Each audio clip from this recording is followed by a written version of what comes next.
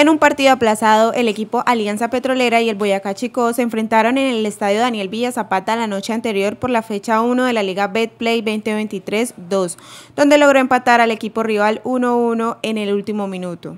Sebastián Acosta, delantero del conjunto petrolero, resaltó el buen desempeño del equipo rival en condición de visitante. Sin embargo, el conjunto amarillo y negro intentó cambiar el marcador para ganar, pero no lograron. Desde el primer minuto insistimos, se vio reflejado en la cancha. Obviamente tenían un, bloque muy sólido, pero se pudo insistir con, con Edwin Torres, con, con Jesús.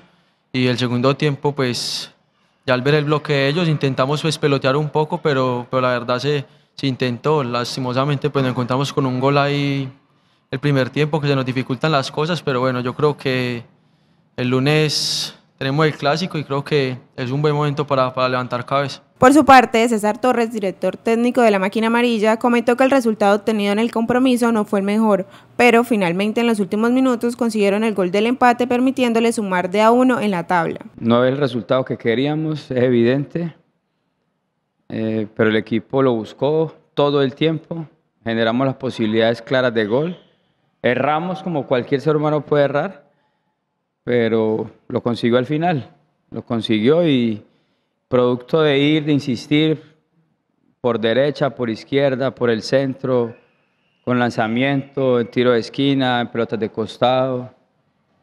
Yo creo que nos sorprende un poco el gol, aunque ya teníamos muy, muy analizado todo.